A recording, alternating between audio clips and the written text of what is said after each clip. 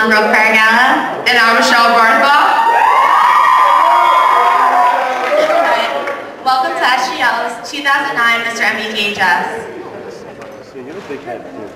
First, let's thank, the, let's thank the contestants for coming out tonight to prepare this awesome show for you.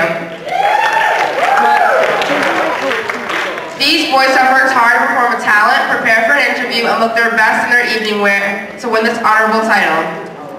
Uh, we would like to thank our judges, Mrs. Ojeda, Mr. Ojeda, Ms. O'Connor, and Mrs. Caswick. And we are starting off the night with the talent portion of this competition.